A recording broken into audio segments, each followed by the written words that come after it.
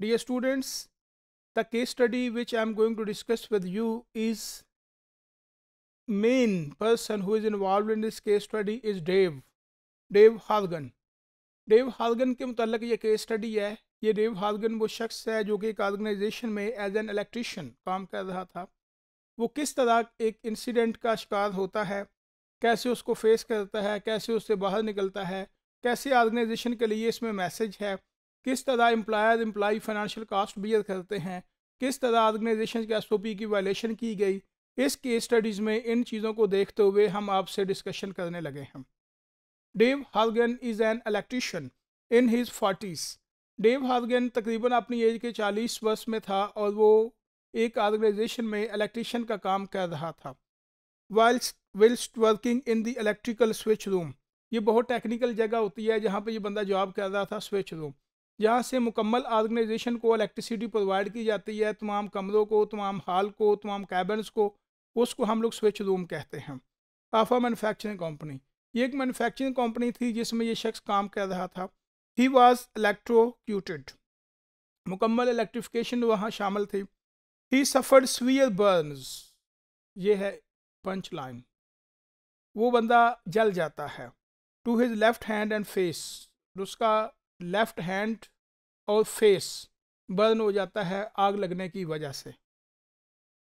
अब इसको डिटेल में मैं आपसे बताता हूँ कि ये केस स्टडी कैसे इंकर्ड होती है, कैसे वो बंदा इस प्रॉब्लम में शिकार होता है, कैसे उससे बाहर निकलता है, कैसे उसकी रिकवरी होती है, कैसे ये ऑर्गेनाइजेशन के लिए लाश का बायस बनता है। वन डे इन 2003 एक दिन 2003 में I had arrived at work Dave ये जो शख्स है, ये कहता है कि मैं अपने काम पे पहुँचा। For eight o'clock as usual routine में आठ बजे हमारी ऑर्गेनाइजेशन काम करना शुरू करती थी और आठ बजे मैं अपनी ड्यूटी के ऊपर पहुँचा।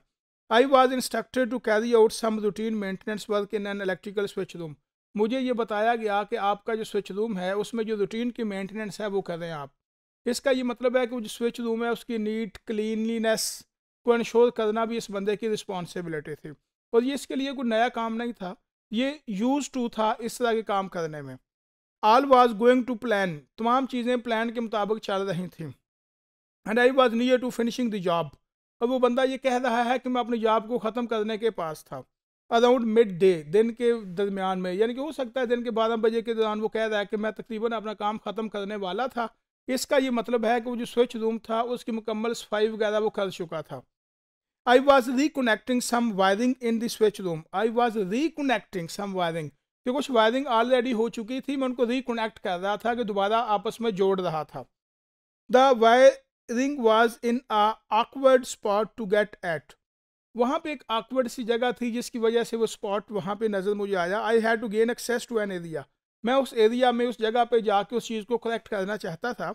That was between two metal cabinets जो कि दो मेटल कैबिनेट के बीच में चीज़ थी, जिसको मैंने डिटेक्ट किया चेक किया और उसको मैं इंस्पेक्ट करने के बाद सही करना चाहता था। This meant this meant I had to put my arm all the way up to my shoulder मैंने अपने बाजू को अपने शोल्डर पे रखते हुए उसको आगे की तरफ़ मूव किया थ्रू आ नैरो गैप वो जो छोटी सी जगह थी उसके अंदर से। To get access to the wiring ताकि मैं उस वायरिंग वाली जगह तक पहुँच सकूँ। The gap was a little wider than my arm वो जो गैप था वो मेरे बाजू से थोड़ा सा बड़ा था। The left hand side of my face was also up against the cabinet मेरा जो चेहरा है वो कैबिन की लेफ़्ट साइड की तरफ़ सामने से नज़र आ रहा था। सो देर आई वॉज़ रिकोनेक्टिंग सम वायरिंग मैं कुछ कनेक्टिंग रिकनेक्ट कर रहा था। जो वायरिंग थी या जो केबल्स थी, उनको आपस में रिकनेक्ट कर रहा था, दोबारा से जोड़ रहा था। Which was fiddly because of the poor access वो मुझे सही तरह नज़र नहीं आई क्योंकि मेरी मुकम्मल पहुँच नहीं थी वहाँ पे। With no warning whatsoever there was a very loud bang from the place where my hand was बहुत ज़्यादा धमाका होता है जहाँ मेरा हाथ था। अब यहाँ तक अगर हम रुकें डियर स्टूडेंट्स मैं आपको बताना चाहता हूँ अब यहाँ जो प्रॉब्लम है वो ये है कि उसकी एक्सेस वहाँ ठीक नहीं थी। वो बंदा टेक्निकली स्ट्रांग था, अपनी फ़ील्ड में एक्सपर्ट था एक्सपोजर विजन था एक्सपीरियंस था नॉलेजेबल था क्वालिफाइड था, लेकिन वहाँ पे उसको कैबिन जो कैबिनेट्स थी, उनको रिमूव करना चाहिए था, ताकि जहाँ पे उसने काम करना था, उसको अच्छी तरह परफॉर्म करता, ताकि वो चीज़ जो थी उसकी मुकम्मल रीच में होती या उसके हाथ में होती गिरफ्त में होती। और उसके अलावा सेकंड पॉइंट ये है कि अगर उसने रिकनेक्ट करना था तो क्या ग्लव्स पहने हुए थे? आई थिंक सो के he didn't wear the gloves अब उसके बाद क्या होता है? This was followed instantly by a very bright flash of light वो कहता है, जब मैं उन केबल को रिकनेक्ट कर रहा था तो बहुत बड़ा धमाका होता है तो बहुत ज़्यादा लाइट वहाँ पैदा हो जाती है। वहाँ पे मेरे लिए देखना मुश्किल हो गया। अब इसको अगर हम कंक्लूड करने से पहले ये वैल्यूएट करें तो दिस वाज द रीज़न कि जिससे धमाका होता है, आग पैदा होती है, और उसका जो फेस है और लेफ़्ट साइड जल जाती है। अब वो जो बंदा बर्न हो जाता है, इसका कौन रिस्पॉन्सिबल है? अब यहाँ पे दो दो ऑप्शन हैं। पहली ऑप्शन तो ये हैं कि ये जो शख्स है इलेक्ट्रीशियन है, इसने एस ओ पी फॉलो नहीं किए क्यों फॉलो नहीं किए कि इसका ये ख्याल था कि मैं अपने आम को उस जगह में डाल के वहाँ से काम करके निकल आऊँगा और मेरा टाइम बच जाएगा। हालाँकि इसको कैबिनेट से रिमूव करनी चाहिए थी। वो मुकम्मल उस जगह को सेव करना चाहिए था कार्डन ऑफ़ करना चाहिए था सेफ्टी जैकेट्स हेलमेट और अपने ग्लव्स पहनने चाहिए थे। और पहले उस चीज़ को टेस्ट करना चाहिए था कि उसमें कितनी ज़्यादा इलेक्ट्रिसिटी चल रही है और किस इक्विपमेंट के साथ उसको ऑपरेट करना चाहिए। ये चीज़ का इसको पहले इलम होना चाहिए था। अगर इस चीज़ का पहले इसको इलम ना था तो उस वजह से ये प्रॉब्लम पैदा हो सकती थी और हुई यहाँ पे। अब जो यहाँ क्वेश्चन पैदा होता है वो ये है कि ऑर्गेनाइजेशन ने इस चीज़ को इंश्योर कैसे करने दिया?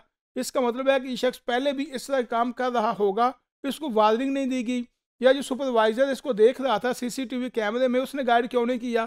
कि भाई what are you doing you are doing wrong with in the organization you will not be allowed to do so अगर वहाँ पर उसको रोक लिया जाता और वो उसको गाइड कर देता कि आप इस तरह से इसको काम कर सकते हैं? या सीनियर इलेक्ट्रिशियन वहाँ मौजूद होता, वो उसको सुपरवाइज कर देता?